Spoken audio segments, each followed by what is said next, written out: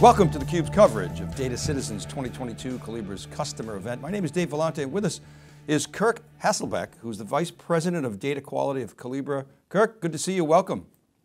Thanks for having me, Dave. Excited to be here. Uh, you bet. Okay, we're going to discuss data quality, observability. It's a hot trend right now. You founded a data quality company, OwlDQ, and it was acquired by Collibra last year, congratulations. And now you lead data quality at Collibra. So we're hearing a lot about data quality right now. Why is it such a priority? Um, take us through your thoughts on that. Yeah, absolutely. It's it's definitely exciting times for data quality, which uh, you're right has been around for a long time. So why now, and why is it so much more exciting than it used to be? I think it's a bit stale, but we all know that companies use more data than ever before and the variety has changed and the volume has grown. And, and, while I think that remains true, there are a couple other hidden factors at play that everyone's so interested in as, as to why this is becoming so important now. And, and I guess you could kind of break this down simply and think about if Dave, you and I were going to build, you know, a new healthcare application and monitor the heartbeat of individuals, imagine if we get that wrong you know what the ramifications could be what what those incidents would look like or maybe better yet we try to build a, a new trading algorithm with a crossover strategy where the 50 day crosses the the 10 day average. And imagine if the data underlying the inputs to that is incorrect. We'll probably have major financial ramifications in that sense. So uh, you know it kind of starts there where everybody's realizing that we're all data companies. And if we're using bad data, we're likely making incorrect business decisions. But I think there's kind of two other things at play. You know, I, I bought a car not too long ago, and uh, my dad called and said, How many cylinders does it have? And I realized in that moment, you know, I might have failed him because because I didn't know. And and I used to ask those types of questions about anti-lock brakes and cylinders and and you know if it's manual or, or automatic and and I realized um, I now just buy a car that I hope works, and it's so complicated with all the computer chips. I, I really don't know that much about it, and, and, that's what's happening with data. We're just loading so much of it, and it's so complex that the way companies consume them in the IT function is that they bring in a lot of data and then they syndicate it out to the business. And it turns out that the the individuals loading and consuming all of this data for the company actually may not know that much about the data itself and that's not even their job anymore so we'll talk more about that in a minute but that's really what's setting the foreground for this observability play and why everybody's so interested it's because we're becoming less close to the intricacies of the data and we just expect it to always be there and be correct you know the other thing too about uh, data quality and for years we did the MIT uh, CDO IQ event. Uh, we didn't do it last year, COVID messed everything up, but the observation I would make there, my thoughts is, is it, data quality used to be, information quality used to be this back office function, and then it became sort of front office with financial services and government and healthcare, these highly regulated industries. And then the whole chief data officer thing happened and people were realizing, they sort of flipped the bit from sort of a, a data as a, a, risk to data as, a, as an asset. And now, as we say, we're going to talk about observability. Uh, and so it's really become front and center, just the whole quality issue because data is so fundamental, hasn't it? Yeah, absolutely. I mean, let's imagine we pull up our phones right now and I go to my, my favorite stock ticker app and I check out the NASDAQ market cap. I really have no idea if that's the correct number. I know it's a number. It looks large. It's in a numeric field, and, and, that's kind of what's going on. There's there's so many numbers, and they're coming from all of these different sources and data providers, and they're getting consumed and passed along. But there isn't really a way to tactically put controls on every number and metric across every field we plan to monitor.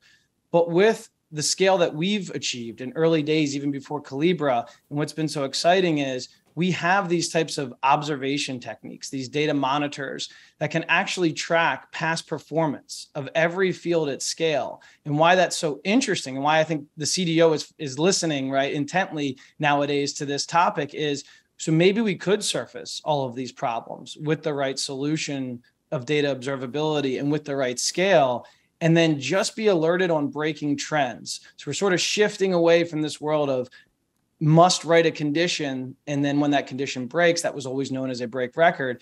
But what about breaking trends and root cause analysis? And is it possible to do that you know with less human intervention? And so i think most people are seeing now that it's going to have to be a software tool and a computer system it's it's not ever going to be based on one or two domain experts anymore so, so how does data observability relate to data quality? Are they sort of two sides of the same coin? Are they, are they cousins? What's your perspective on that? Yeah, it's, it's super interesting. It's an emerging market. So the language is changing. Uh, a lot of the topic and areas changing. The way that I like to say it or break it down, because the the lingo is constantly moving, is you know as a target on this space is really breaking records versus breaking trends. And I could write a condition when this thing happens, it's wrong, and when it doesn't, it's correct. Uh, or I could look for a trend. And I'll give you a good example. You know, everybody's talking about fresh data and stale data, and, and why would that matter? Well, if your data never arrived, or only part of it arrived, or didn't arrive on time, it's likely stale. And there will not be a condition that you could write that would show you all the good and the bad. So that was kind of your, your traditional approach of data quality break records. But your modern day approach is you lost a significant portion of your data or it did not arrive on time to make that decision accurately on time. And that's a hidden concern. Some people call this freshness, we call it stale data. Um, but it all points to the same idea of the thing that you're observing may not be a data quality condition anymore. It may be a breakdown in the data pipeline. Um, and with thousands of data pipelines in play for every company out there, uh, there, there's more than a couple of these happening every day. So what's the Collibra angle on all this stuff? Made the acquisition, uh, you got data quality, observability coming together. Uh, you guys have a lot of expertise in, in this area, but you hear provenance of data, you just talked about you know, stale data, you know, the, the whole trend toward real time. How is Collibra approaching the problem and what's unique about your approach? Well, I think where we're fortunate is uh, with our background, myself and team, we sort of lived this problem for a long time, you know, in, in the Wall Street days about a decade ago. And we saw it from many different angles. And what we came up with before it was called data observability or reliability was basically the, the underpinnings of that. So we're a little bit ahead of the curve there. When most people evaluate our solution, it's more advanced than some of the observation techniques that, that currently exist. But we've also always covered data quality. And we believe that people want to know more. They need more insights and they want to see break records and breaking trends together so they can correlate the root cause. And we hear that all the time. I have so many things going wrong. Just show me the big picture. Help me find the thing that if I were to fix it today would make the most impact. So we're really focused on root cause analysis, business impact, connecting it with lineage and catalog, metadata. And as that grows, you can actually achieve total data governance. Um, at this point, with the acquisition of what was a lineage company years ago, and then my company, OwlDQ, now Collibra Data Quality, Collibra may be the best positioned for total data governance and intelligence in the space. Well, you mentioned financial services a couple of times uh, and some examples. You remember the flash crash in 2010?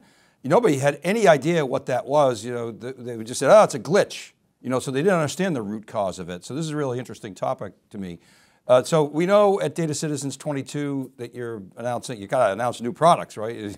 Your yearly event. What's What's new? Can you give us a sense as to what products are coming out, but specifically around data quality and observability.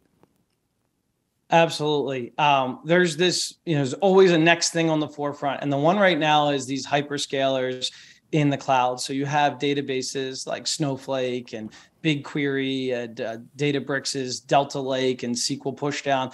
Um, and ultimately, what that means is a lot of people are storing and loading data even faster in a SaaS like model. And we've started to hook into these databases. And while we've always worked with the, these same databases in the past, they're supported today. We're doing something called native database pushdown, where the entire compute and data activity happens in the database.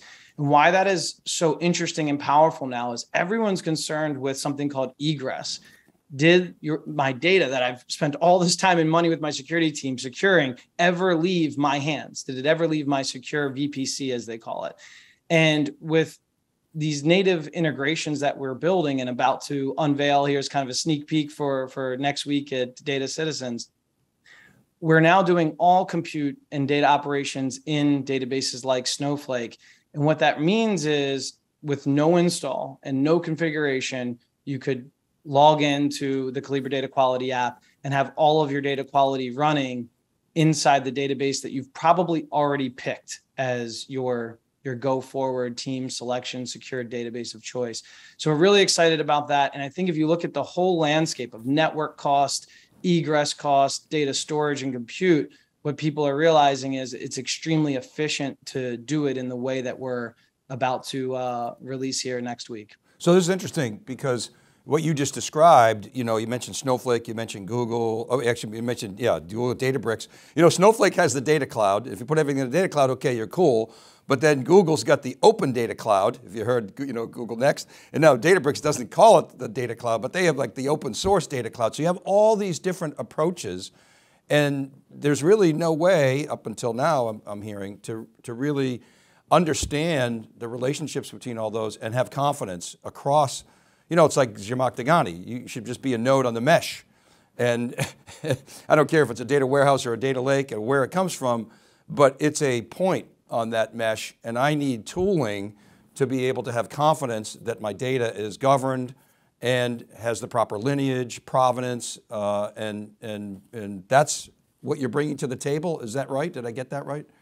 Yeah, that's right. And it's for us, it's it's not that we haven't been working with those great cloud databases, but it's the fact that we can send them the instructions now. We can send them the the operating uh, ability to crunch all of the calculations, the governance, the quality, and get the answers. And what that's doing, it's basically zero network cost zero egress cost, zero latency of time. And so when you were to log into BigQuery tomorrow using our tool, or let, or say Snowflake, for example, you have instant data quality metrics, instant profiling, instant lineage and access privacy controls, things of that nature that just become less onerous. What we're seeing is there's so much technology out there, just like all of the major brands that you mentioned. But how do we make it easier? The future is about less clicks, faster time to value, uh, faster scale, and eventually lower cost. And, and we think that this positions us to be the leader there. I love this example because you know everybody talks about, well, the cloud guys are going to own the world. And, and of course now we're seeing that the ecosystem is finding so much white space to add value, connect across clouds. Sometimes we call it super cloud, and so, or interclouding. Uh, all right, Kirk, give us your, your final thoughts and, uh, on, on the trends that we've talked about and Data Citizens 22. Absolutely. Well, I think you know one big trend is discovery and classification. Seeing that across the board. Um, people used to know it was a zip code, and nowadays, with the amount of data that's out there, uh, they want to know where everything is, where their sensitive data is, if it's redundant. Uh, tell me everything inside of three to five seconds. Uh, and with that comes they want to know in all of these hyperscale databases how fast they can get controls and insights out of their tools. So I think we're going to see more one-click solutions, more SaaS-based solutions, and uh, solutions that hopefully prove faster time to value on on all of these modern cloud platforms. Excellent. All right, Kurt Haslbeck, thanks so much for coming on theCUBE and previewing Data Citizens 22. Appreciate it. Thanks for having me, Dave. You're welcome. All right, and thank you for watching. Keep it right there for more coverage from theCUBE.